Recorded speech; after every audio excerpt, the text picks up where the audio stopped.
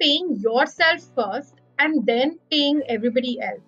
So, you know, in the beginning of the month, have a predefined uh, amount that is invested automatically. This ensures that it's a forced saving. So, you know, this ensures that you'll land up saving for things that are truly meaningful to you. Doesn't matter uh, how much you start with. You know, in fact, this is an important thing because a lot of people tell me, oh, I don't have lakhs to invest. You know, I, I don't earn that much. What do I do? And like, you can start investing with as little as 500 rupees you don't need to start with lakhs you don't need to start with a large amount you can start with as little as 500 rupees a month and the longer you stay invested the magic of compounding basically comes into play and that's how your returns and that's how your wealth is built over a longer term one important thing that covid taught everybody was the importance of an emergency fund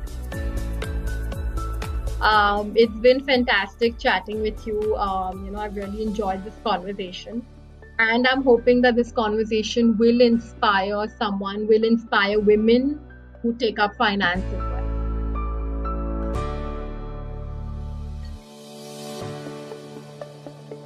Hey, listeners, welcome back to the next episode of Inspire Someone Today, your platform for amplifying inspiration. Today, I am joined by a leading voice on the subject of personal finance and wealth building. A person who is a face of financial personal wealth and pretty familiar for many of us on our TV screens. It's a pleasure to welcome Salonee Sanghvi on Inspire Someone today. Salonee, thank you for joining us today. Hi, Shrikant. Thank you so much for having me on your show today. Um, I'm, I'm really honored to be part of this show, um, and I love the title as well. Thank you, Salonee. We are equally honored to have you here. In lot many ways, Salonee, I see that the whole uh, profession of uh, finance, personal uh, wealth management is running through the family. You're a fourth generation financial professional. Tell us a bit more about it. How did you land up in this particular space, and what does it take to be the top 100 leading women in finance? Sure, Shrikant. So I am basically a fourth generation uh, financial professional. So I was very lucky to have role models uh, at home itself. Uh, my mother is among the few stock female stockbrokers that we have in India. So um, it was great to have that example, um, you know, to emulate at home. And um, basically, my journey began um, so I did my management from Sydenham. Then I went to McKinsey. I was working in their research department where, you know, I had I was working with the European team, had access to a lot of complex frameworks, new databases, etc. Then from there on, um, I went on to join uh, Rakesh Jhunjhunwala, and uh, I was part of his office, uh, his you know proprietary firm for about eight years. Uh, incidentally, I was actually the only woman on the team, and you know, it was a team of six to eight people, and the youngest to both. So I think that was a great um, opportunity that I got and gave me definitely a lot of great exposure on the Indian financial market. I also pursued my CFA. Actually, um, you know, I was lucky that McKinsey had a policy where they kind of supported education. So that's where I actually started my CFA, and you know, was again amongst the first 40 women CFA charter holders in India. While I worked at these two places, actually, um, you know, I realized a lot of people would come to me with their portfolios or investment advice, etc., uh, showing me the portfolio, you know, asking me what do I think, you know, what they should do, etc. And that's when I realized that a lot of people had a lot of products which were not right for them which were not correct for them. Uh, you know, for example, a lot of endowment insurance policies or a lot of um, extremely risky products where they didn't understand what they were essentially investing in. That prompted me to kind of leave my job and start something by myself. Uh, so I started my wealth guide, which essentially was a way um, for me to give back in a way to help people on their financial journey to ensure that they understand where they invest and what they invest in and to kind of simplify the whole process of investing and money you know i think it's a process that's been unnecessarily complicated Uh, there are a few basic principles, and if you follow that, uh, it's something that every and anyone can do. So that was my journey that led to, uh, you know, starting obviously my wealth guide, which is essentially a goal-based, uh, research-focused wealth management company. And um, because obviously my background has been substantially, uh, you know, in equity markets, so equity portfolios is also something that we do and you know do well. So that's just a little bit about me, uh, Shrikant, and my journey to where I am today. So that's a great insight to where we are. Sets the tone for what we want to do during this conversation, which is about helping our listeners to demystify everything about wealth building, finance management. So in your stint, you did mention about working with Rakesh Jhunjhunwala, the McKinsey experience that had had a role on you on what you are trying to do, and it's pretty noble and unique to say that you are doing this as your contribution back to the society. What were some of those initial experiences that you picked up saying that okay, this is what growing up you would want to be doing? Uh, I think always wanted to be uh, in finance uh, or in something related to finance because, uh, you know, the equity markets fascinated me from a young age.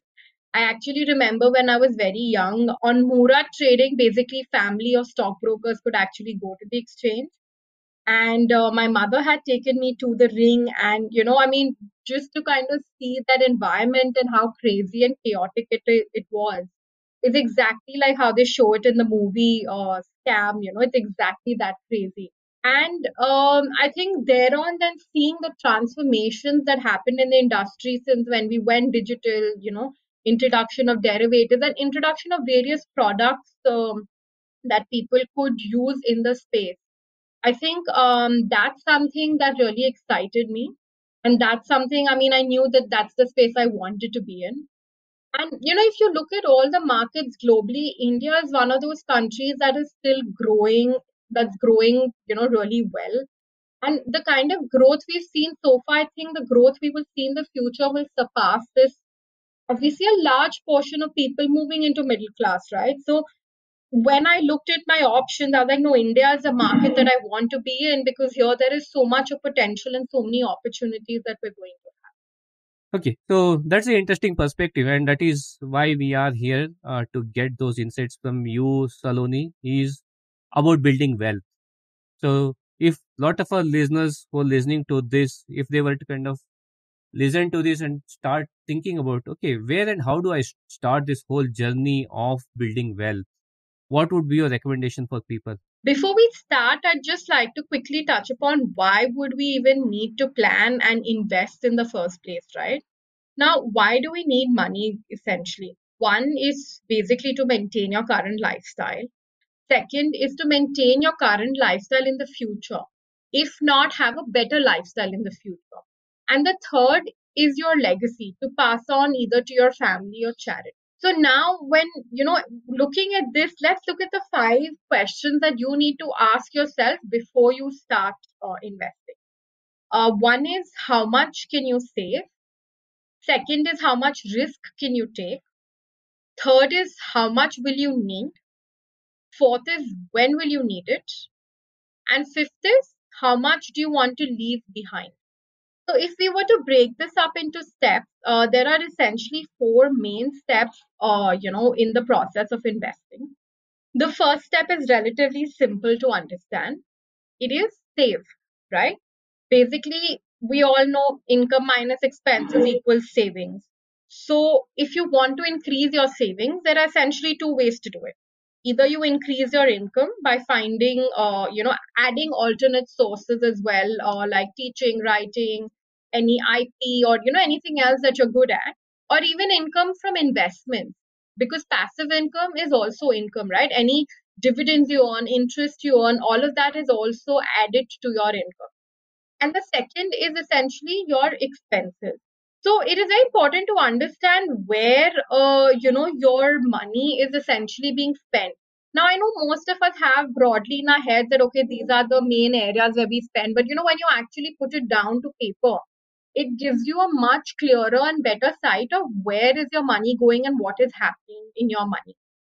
Uh, so just initially maybe make a you know monthly budget for three to six months till you get an idea of you know where you're spending, what you're spending on, and make sure to do it with uh, you know other people in your house like your partner or spouse or parents etc. Because that will give you a better picture of what is going on. Now, when I say savings, savings doesn't mean just letting it be in your bank account. Savings means ideally also what you invest and not just what you leave in your bank account. A common complaint that a lot of people have at the end of the month is that, you know, they've ended up spending their entire salary, for example, and then they've not been able to save anything. Now, you pay your electricity bill, you pay your staff, you pay everybody but yourself. Why is that? So start by paying yourself first and then paying everybody else. So, you know, in the beginning of the month, have a predefined uh, amount that is invested automatically. This ensures that it's a forced saving. So, you know, this ensures that you land up saving for things that are truly meaningful to you. And then automate all your other expenses so that you know exactly what is going on where another trick also actually in terms of spending right? Because not everyone wants to maintain a monthly budget. It can be very cumbersome and it's difficult right to do it all the time. So what you do is just make a list of maybe three or four things that you're really passionate about that really bring you joy. Like so for example for me maybe it's food and travel. Spend whatever you want on those parameters and then you know drastically cut down your spending on other parameters. So it's like you know when you're on a diet you're given what you love to eat so you don't feel like you're deprived you don't feel like you're on a diet because you're eating what you love to eat but you're cutting out everything else that brings you no joy in life. Because a lot of times we land up spending on things um, maybe just to keep up with appearances but in reality they don't really bring or add anything to our lives whatsoever. So uh, i missed one thing um, also how much should you be saving? Because this is another very common question I get. You know, how much should I be saving? A broad rule of thumb is save as much as your age. So if you're 20 years old, save 20%. If you're 40 years old, save 40% of your income. Now, this is obviously a very simplistic rule of thumb, uh, and it depends on your circumstances. Now, supposing you're living, you know, with your parents and you don't have anyone who's financially dependent on you, you don't have EMIs or rent, then obviously you'll be able to save a lot more of your salary versus someone who stays living on rent or has other, uh, you know, financial obligations, be it to family or be it loans, etc. So those will obviously impact your savings rate, but an ideal rule of thumb is as much as your age. This is also because, you know, as you grow older, obviously your salary is increasing, but your expenses are not increasing in tandem to your salary. So you're able to save a lot more as you get older. So that's basically step one. Step two is to protect what you already have, right? Before you start something new, you need to protect what you already have. So one is basically, uh, you know, in terms of insurance. I think COVID has really shown us all how uncertain life can be. So it's very important to get insurance, uh, you know, for things like um, life if someone is financially dependent on you. Uh, medical insurance is a must. You could also get insurance for your other assets like car, home, and you know other assets that are uh, of big ticket items, so that in case anything happens to them, you know that you are protected in the sense that insurance will pay you the money. The second thing is an emergency fund. Now, obviously, life is very uh, uncertain, right? So, an emergency fund will help tide over in those periods. You know, it could be anything. It could be a medical emergency. You could have lost your job or suffered a big loss in your business. So, you know, an emergency fund helps you get money and liquidity, but without actually disrupting your compounding process, without having to actually break your investments to get that money.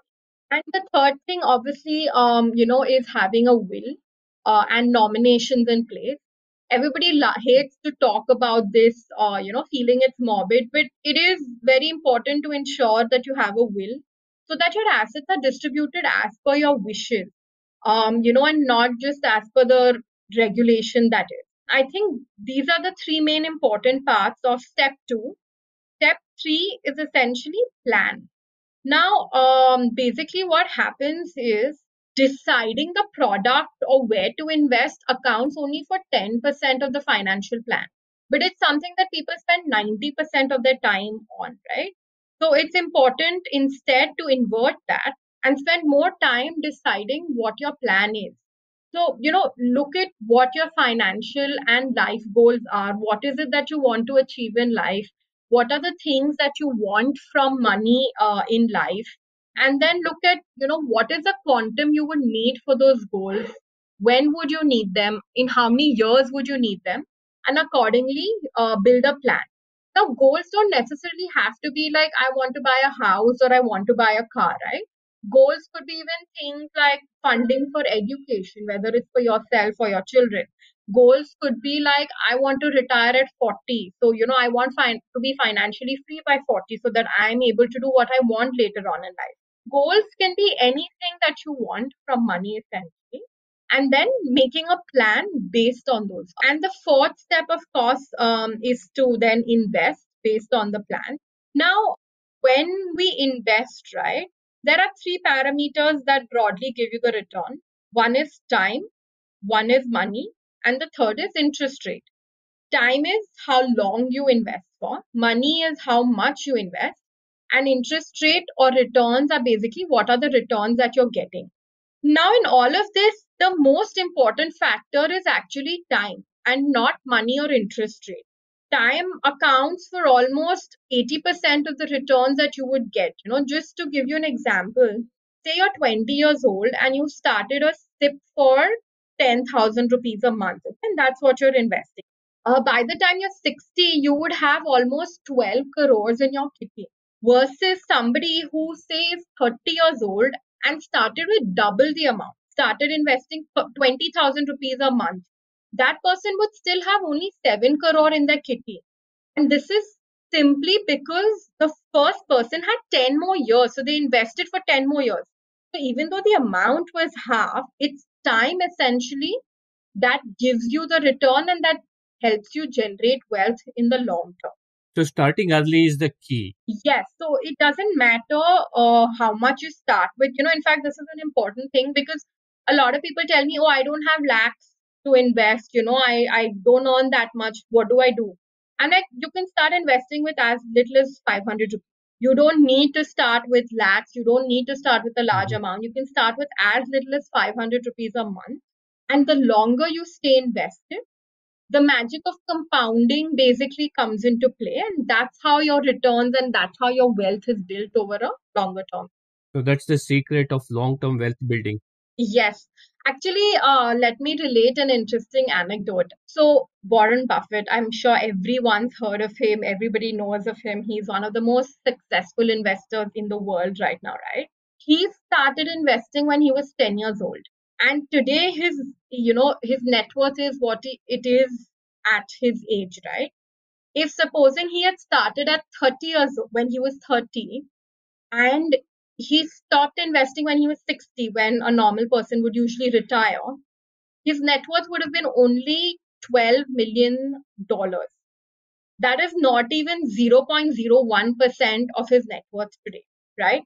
So the differential between the two is investing for 80 years versus investing for 30 years. It is all about time yeah, so I think in terms of when you're looking at investing, you also have to decide how much risk you're comfortable taking. Because at the end of the day, money has to bring you peace of mind.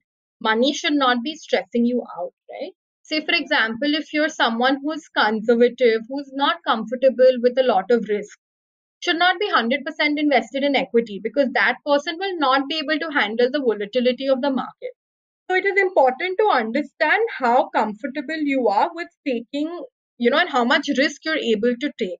Now there are various tools available online. Um, you know, even on our website, mywealthguide.com, there is a risk profiling that is done.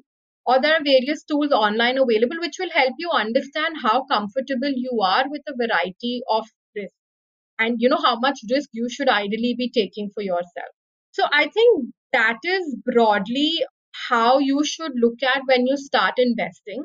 Uh, it might sound a little cumbersome initially, you know, seeming like, oh, there's so much to do, but this is broadly a one time comprehensive exercise. And then you know every quarter or annually whatever frequency you decide you just have to check back and see okay are all of these things still true? Are my goals still the same? You know are my is my uh, savings still the same? So you just have to go and change a few of those parameters once you have the basic plan once you've done your homework then it becomes easy to kind of do the rest and how frequently does one need to go back revisit their goals re- reprioritize what they have been doing so uh, there are two ways ideally to do it. Maybe uh, once in three months, just have a quick look because no plan is set in stone, right? Where life is very uncertain and unpredictable. So your plan also has to be dynamic. So maybe once every three months, you can go back and just see if, you know, whatever you've assumed or whatever you've considered still holds true. Like, you know, I said, say,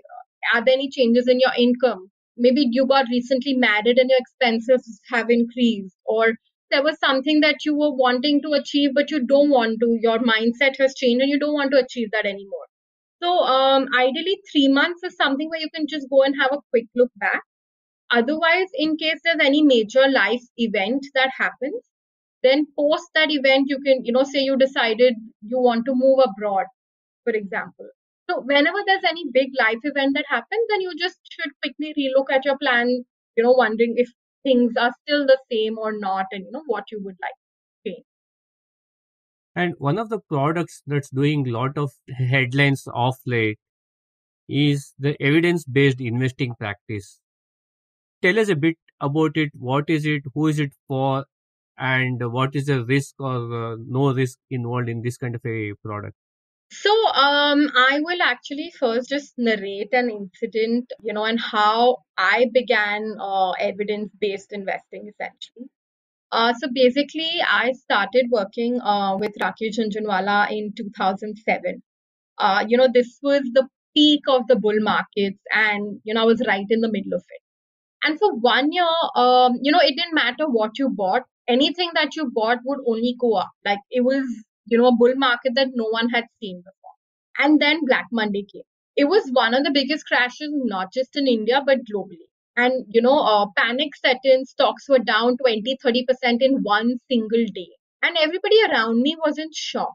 So it was difficult, very difficult for the mind to react, you know. And in fact, over the course of the year, markets corrected 64%. Now, amidst all of that gloom, very few people could actually muster the courage to buy. So, this made me realize how even the most experienced investors could become numb in a crash and how much emotion affect our investing.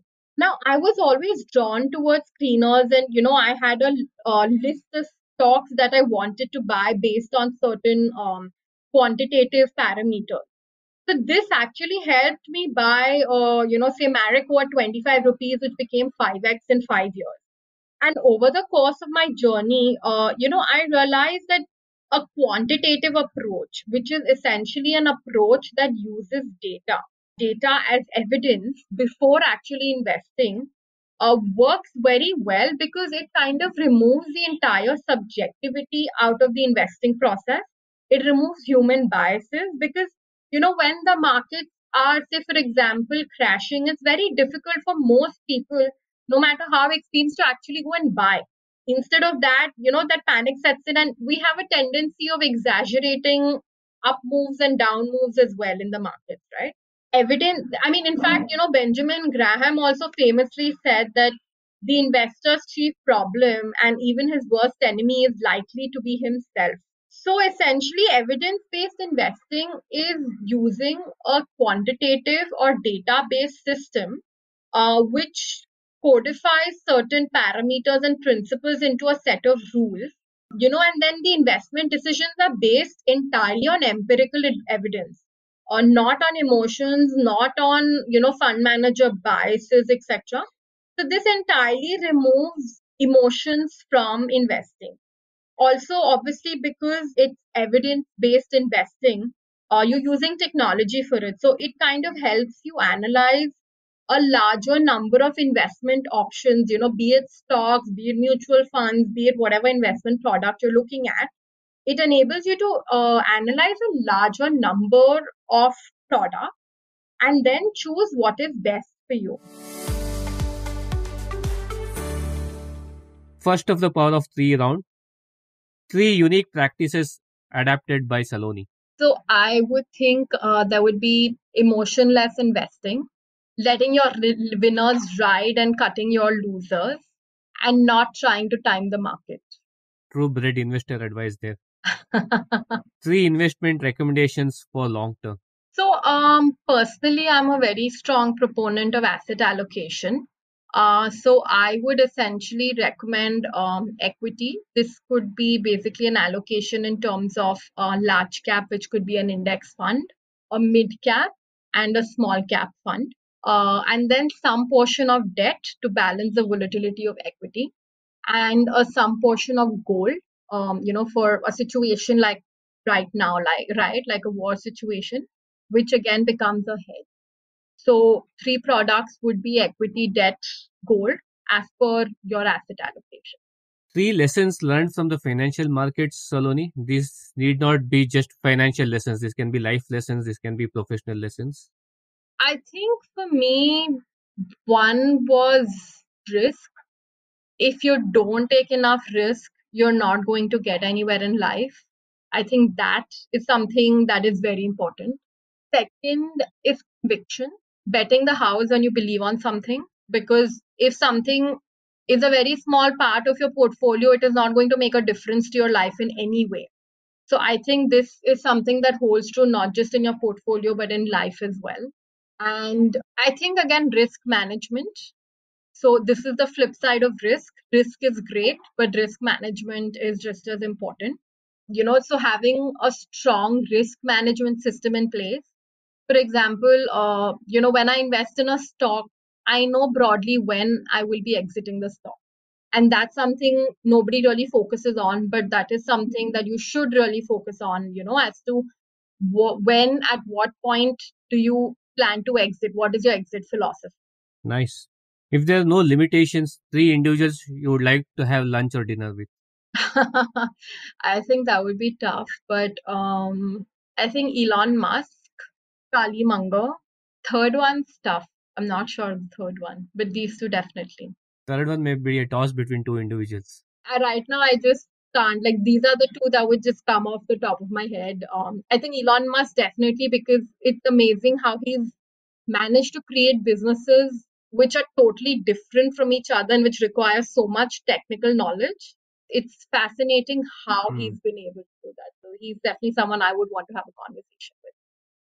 Three book or podcast recommendations that you have for the listeners. So, um, if we were to look at um, money books per se or relating to wealth, finance, but not something too technical, uh, I think Psychology of Money by uh, Morgan Housel is a great book. And they use very simple stories, simple examples. And it doesn't matter whether you're a beginner or you're an expert, uh, you know, you've been doing this for a long time. There are, there are enough points that there were a lot of you know stories where even i went like yeah that is so true you know so i think that's definitely a good book for anyone and everyone to uh, pick up.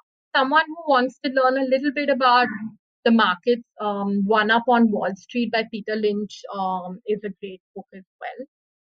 In terms of again relating to finance podcasts uh, there's a podcast called Paisa Vaisa uh, by anupam gupta which talks about a variety of topics relating to investment, investment products, etc.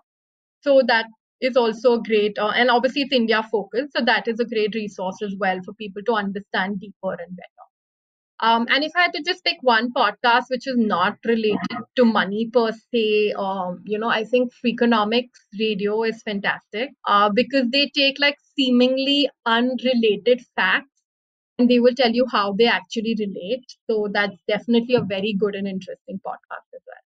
Okay, thanks for sharing that. So, last of the power of three round question, Salonee. Sure, bring it on. Three macro factors to watch out for. Um, in the short term, we obviously have one of the biggest factors that is on right now, which is the uh, Russia-Ukraine uh, war. That is going to be a huge factor because um, you know it's already started impacting oil prices. Um, it's already started impacting and will impact further inflation. So you know it will have an impact on a variety of parameters. So how quickly it is resolved will be important. If it drags on for a long time, then it could have a major uh, impact. Uh, another obvious uh, factor would be um, so, you know, for the last many years, the Federal Reserve, uh, which is the central bank in the US, has been cutting interest rates and keeping them extremely low or zero. They are going to start increasing interest rates. So that is another factor that needs to be kept a watch on in terms of everybody knows they're going to do it, but the quantum is unknown. Like, you know, how much will it actually be? So that uh, is another parameter to watch out for um, this year. And inflation, again, because, you know, if inflation starts increasing, then that will impact, again, what a lot of central banks around the world do. So in the short term, I feel um, these are the three points that need to be um, watched out for. Over a slightly longer term, uh, I think especially for India, um, private capex is something that would be a you know factor to watch out for because in the last few years we've not seen a lot of companies invest, set up plants, you know, build new plants, etc and that is something that is needed for the country to grow right? So i think uh, once the private capex cycle restarts that will be a huge game changer. So for a slightly longer term i think that's another parameter to keep watch for. Mm-hmm. those are good macro uh, factors out there. War interest inflation. Well that was the power of three rounds Salonee So continuing on, uh, where we are demystifying wealth, personal finance, and some of the current themes, one specific element that definitely pops out is the financial lessons post-COVID situation. You, you did mention to some extent earlier on uh, what some of the practices people can adapt post the COVID. Anything else in terms of lessons people can embrace post the pandemic? So, uh, I think COVID has actually shown us how uncertain things in life can be. And, you know, where we heard a lot of stories where 30 year olds, 40 year olds passed away. And that's not something you would expect at such a young age, right? It's not something you can anticipate. Uh, a lot of people lost their jobs overnight and they did not have savings to fall back on as well. So um, I think one important thing that COVID taught everybody was the importance of an emergency fund. Having at least at least three to six months of your expenses, or you know, in a very liquid, either a liquid fund or an FD, or even in your savings account, but something that you can easily access as and when you need. You know, it could be loss of job, it could be a medical emergency another thing obviously again was having a medical uh, good medical insurance because uh, in the news there were a lot of items where people had like 15 20 30 40 lakh hospital bills you know that they could not afford that they could not pay for. So having a good medical uh, you know insurance ensures that at least if there is something that happens to you or your family you are taken care of to a large extent I think the third was also um, maintaining records of your investments and assets because a lot of people, uh, you know, what happens is in most families, there would be one person, usually the father or the husband, who knows where all the money is invested, who knows what bank accounts are there, who knows, you know, where all the documents are, property papers, etc. And if anything happens to that person, either they're incapacitated or they pass away, then the other people in the family have no idea and then it's a huge mess which becomes very very difficult for the family to actually unravel and take care. So it's very important to have um, you know records or ensure that your family knows where all the key critical records are you know what you own where things are. So i think that's another thing that kind of covid taught us. I think from the market perspective something very important that whole COVID crisis taught us is uh, when markets actually fell in March, people were expecting markets to fall further over the next few months, right? No one anticipated that this would be the start of one of the biggest bull runs we've seen in the near in the near past. So um, I think one of the important things that this showed us is that it's very hard to try and forecast and time the market to know what the market is going to do when uh, which is why it's actually very important uh, to stay invested. Very uh, time in the market is far more important than timing the market. I think that's another very important lesson that kind of COVID taught uh, that markets don't always work how you think they would. They don't always react in a way, uh, you know, that you think that they would. And for a lot of people who've entered the market recently in the last one, two years, uh, just a word of advice this is not a normal year, right? This is something that would happen once in a while. So do not go with the same expectations into the future. Do not expect that you will be making 30, 40, 60, 70% every single year. To ensure that you manage your risk well, because I think a lot of people have entered in the last two years and they've only seen a bull market. They've never really, I mean, yes, recently stocks have fallen a little bit, but maybe 10%, which is not very high. So they've never really seen a market crash. So just a word of warning to people who've entered in the last few years, you know, don't bet your house on the market. Well, those are some fantastic messages out there. Key things that I take away is don't time the market, don't hold the information from your family, stay invested and holding information something that i've seen in close quarters within my own family circles is like you said when they're gone in uh, a jiffy the entire information is like a black hole for the family. I think there is definitely a need to create that kind of an financial inclusion and education amongst our families. That is so true. You know, in fact, at My Wealth Guide, uh, 70% of our clients are women and it's a very key focus area to ensure that they also understand what's happening with their money. It's not that someone has invested on their behalf and you know they have no idea what's going on. So uh, and this is for women especially and everyone. You need understand where your money is going and where it is being invested in because you know don't just be fooled by high returns. So Salonee you have been sharing a lot of tips with us in terms of uh, prudent investments. Uh, in closing, this is all about creating uh, ripples of inspiration. What would be your inspire someone today message to all the listeners out here? So, you know, this is something that was once told to me, uh, you know, especially being a woman, and it's something that has stuck with me throughout.